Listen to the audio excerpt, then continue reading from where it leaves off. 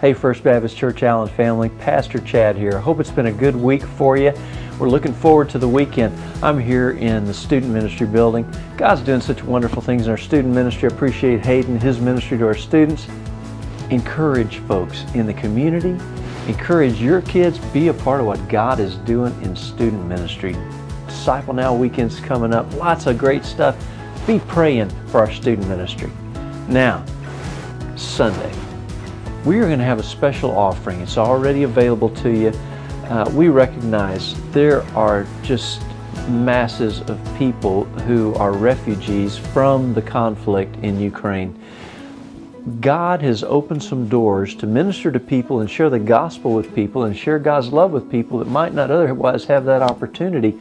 These Ukrainians who are displaced, we have a wonderful team of people in Poland who are doing a great work to feed, care, and share Jesus with people.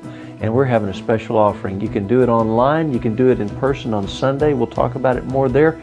Be a part of caring for those people, and not just for physical needs, but for eternal hope.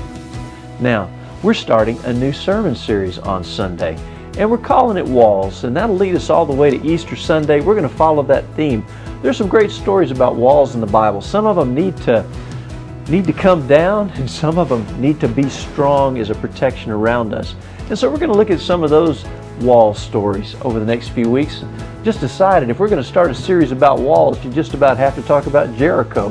And we're going to look this Sunday at the walls around Jericho, which are the second biggest walls that had to come down in that story.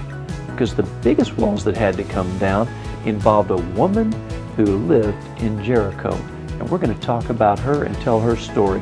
I found a lot that touched my heart. It'll touch your heart too. Look forward to seeing you on Sunday.